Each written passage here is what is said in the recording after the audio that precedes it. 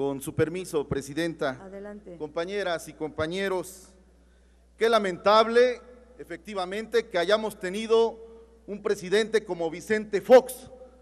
Alguien que si no hubiera habido un acuerdo cupular entre el PRI y el PAN, jamás hubiera ocupado el cargo más importante de este país que ser presidente de la República.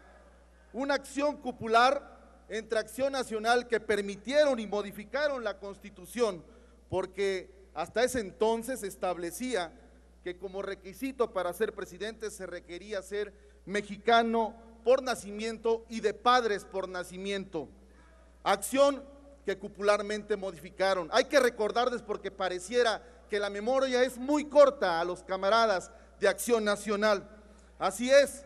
Y cuando hablan de la cuestión de misóginos, Fox era el principal misógino que insultaba cada vez que la lengua tan larga se le hacía manifestarse en contra de nuestras mujeres.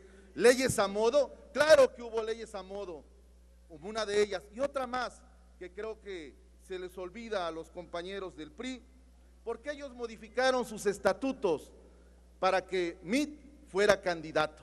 Y lo hicieron, modificaron estatutariamente justamente porque estaba impedido dentro de su propio partido. Hoy lo que no queremos es leyes a modo, lo que no queremos es que haya acciones lamentables.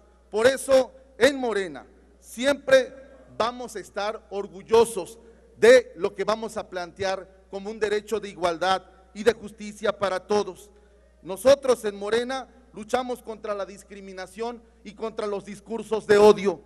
Y son discursos de odio todos aquellos que atentan contra la dignidad de las personas por el hecho de formar parte de un grupo colectivo en concreto que se utilizan para discriminar a una persona por su origen, nacionalidad, sexo, orientación sexual, creencias religiosas, ideología o cualquier otra característica de alteridad y se utilizan para justificar la falsa al acceso real y en condiciones de igualdad a los derechos en general y a los derechos en la ciudadanía en particular.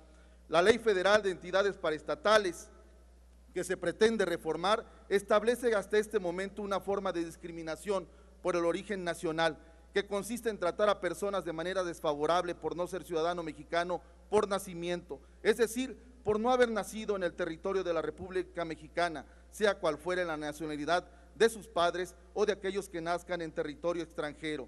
La ley prohíbe la discriminación cuando se trate de cualquier aspecto de empleo como la contratación, el despido, la remuneración, las asignaciones laborales, los ascensos, el despido temporal, la capacitación, los beneficios complementarios o cualquier otro término de condiciones de empleo. Adicionalmente, quiero señalar que el principio de la universalidad de los derechos humanos y el de no discriminación son la piedra angular del derecho internacional de los derechos humanos. Los derechos humanos también son inalineables, no deben de suprimirse salvo en determinadas situaciones y siguiendo las debidas garantías procesales. Todos los derechos humanos son también derechos indivisibles, interrelacionados e interdependientes. El avance de uno facilita el avance de los demás y de la misma manera la privación de un derecho afecta negativamente a los demás. El principio de no discriminación es también toral en el derecho internacional de derechos humanos, al ser un principio transversal el principio se aplica a toda persona en relación con todos los derechos humanos y las libertades y prohíbe la discriminación sobre la base de una lista no exhaustiva de categorías como origen, sexo, raza y color y así sucesivamente. El principio de la no discriminación se contempla como el principio de igualdad. Morena asume una responsabilidad. Yo lamento que el PAN, creo que hasta ellos se arrepienten de haber modificado eso Qué terrible nos fue con Fox. Nosotros vamos a ser muy francos. Este tipo de modificaciones nos llenan de orgullo y no habrá arrepentimiento, al contrario, la cultura es para todos, que muchas veces hace falta. Por esta y otras razones más, y porque se trata de una reforma amplia de los derechos, el grupo parlamentario de Morena votará a favor de este dictamen, porque así nos representan. Diputado Luis Humberto. Eh, el diputado Elías Lisha quiere, ¿con qué objeto está solicitando? Para hacerle una pregunta al orador, si me la acepta. ¿Acepta una pregunta? En otro momento, con mucho gusto, diputado. No acepta su Así pregunta, es. diputado. Vamos a actuar con responsabilidad como lo hemos hecho y lo seguiremos haciendo.